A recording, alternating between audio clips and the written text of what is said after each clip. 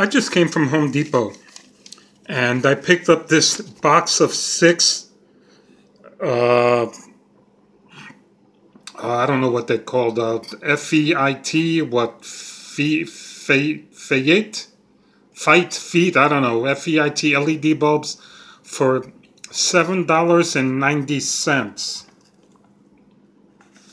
Um, my camera doesn't focus that good, but this receipt says, can you see $7.90? That's six bulbs. That's a dollar thirty-two a bulb. 3000K. $6.90.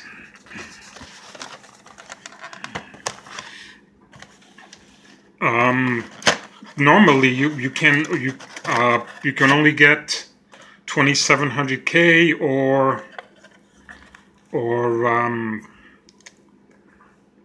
uh, 5000K. Those are the two common um, uh, colors. And um, so if you don't want 2700K because it's too yellow and and um, and uh, and you don't want 5000 because it's too blue, you have to buy both of them to get uh, some color in between, which is what I've done almost everywhere in the house.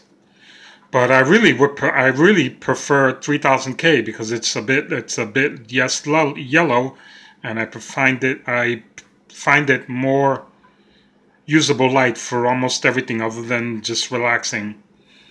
Um, so six of them, a dollar thirty-two a bulb, seven dollars ninety cents at Home Depot today. Um, if, if two years ago, you can only get one bulb for ten dollars, and that was Cree.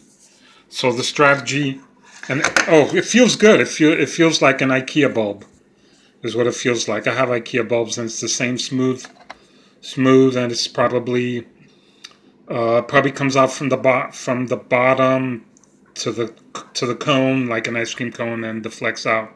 And it's um, I'll plug them in, and I'll let you know what they look like. But um, you know, if you want to save electricity and you want a pleasing color, I really yes, I this is this is it. This is the this is the one you should get because you'll get you'll get the most impact and the best and the best price. Okay, so signing out, two thumbs up. And of course, I'll give you follow-up video using all six of them. Let you know if, I, if I'm pleased or not.